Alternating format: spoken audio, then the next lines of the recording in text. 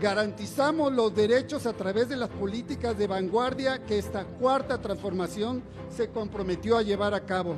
Buscamos darle garantías a los derechos a la salud, a la educación y a la vejez digna. Establecer la obligación del Estado de garantizar la entrega de apoyos económicos a la población vulnerable, con lo cual se aspira a alcanzar el derecho al bienestar de grupos que se encuentran en situación de vulnerabilidad, en particular el de las personas adultas mayores y el de las personas con discapacidad